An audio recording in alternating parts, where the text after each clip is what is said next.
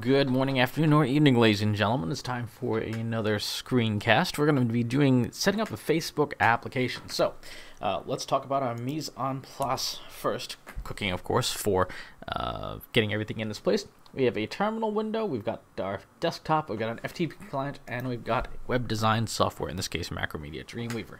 So let's get started by creating, well actually let's get the, the Facebook application content ready first. I'm going to go here to Blue Sky Factory's Publicaster, go to opt-in forms, and I'm going to grab my opt-in form code, which pretty straightforward, very easy stuff. We go in here, copy and paste this, and go over to Macromedia Dreamweaver and just slap it on the page. Now that's not the prettiest thing you've ever seen, so let's add a little bit of prettiness to this. There we go. Body font family is Lucida Grande. You'll want to use Lucida Grande if you have the option to do so, because that is Facebook's font of choice. Sans serif and you'll want to set it to a font size 11 pixels and that is the Facebook style. Now I'll add a little bit of copy to this just to make it pretty and uh, to do that let's go to my website and actually get the copy. That way it's consistent. Here's the copy. I could actually just copy this entire page if I wanted to, but I wanted to show the process for if you've uh, never done this before, period. Paste. Ooh, didn't mean to link that up like that. Let's go ahead and chop out that extra link there. There we go, that's better. Sign up with Facebook. I'll make that a little, a little bit bigger. Sign up with a form. So there's our basic content for the Facebook fan page. Now we got to go and actually create the thing. So let's go do it. Set up a new application. I'm going to call it uh, Chris Penn Newsletter. Do I agree to the terms? Yes, of course, even though I have no idea what they are. I can't even read that. Let's try that again. Uh, looks like MNZU? Talk about the most obscure shortcodes ever. There we go. Okay, so we'll say Chris Penn Newsletter, Chris Penn Newsletter, website. Put my website because that's what this is going to be in the domain for that site is this. Now let's go to integration. We'll call this uh, CSP FB app for fun. Now, here's a little tricky area.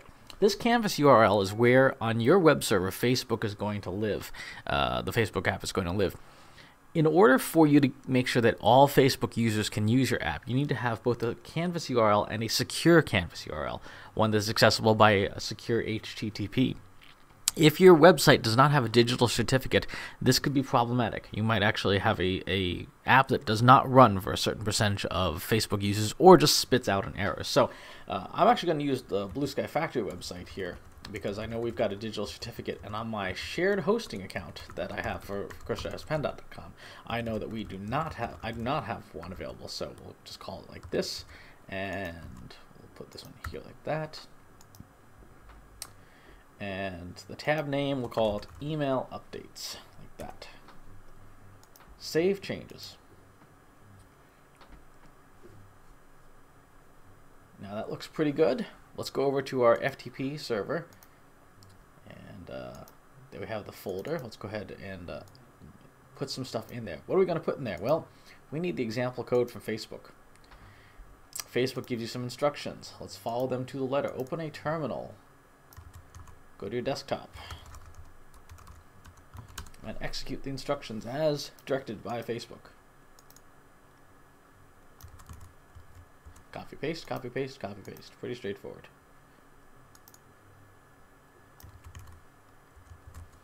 Okay. Now if we go to our desktop, we should see, oh, there it is. We see the Facebook SDK.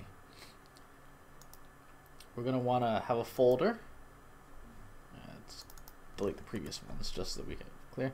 We're going to want to have a folder with the Facebook library and digital certificate from that download. Right? And we're going to want this index page that we just created in Dreamweaver in it as well. Now we're going to want to take a look at the example code because we're going to need the top portion of this example code right here, everything in this PHP bracket, to be in the page we made. So we can copy that and close it. Here's the page we made earlier. Paste. We're going to change the relative path because we want that to be all be in the same folder for simplicity's sake.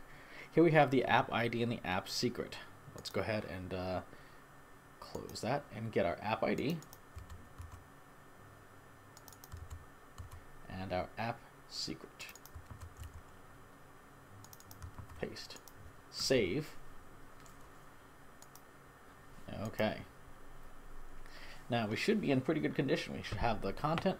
we should have uh, Facebook's required integration information. Let's go ahead and upload all this to our FTP server. Gotta move this in here so it's all consistent. Replace. Good. Open that up. Copy. And copy it over. Alright, so now we've got the files in place. Let's click on that example code thing and let's just test it to see if this is even working. And there it is. Awesome. So we've got the content. We're, we've got it ready to go. Uh, it tests out fine. Let's go close this up and now go to the profile page.